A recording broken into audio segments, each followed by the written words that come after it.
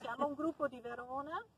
eh, siamo, ci occupiamo comunque di insegnamento, di psicologia eh, di, e siamo qui in vacanza, siamo sempre state interessate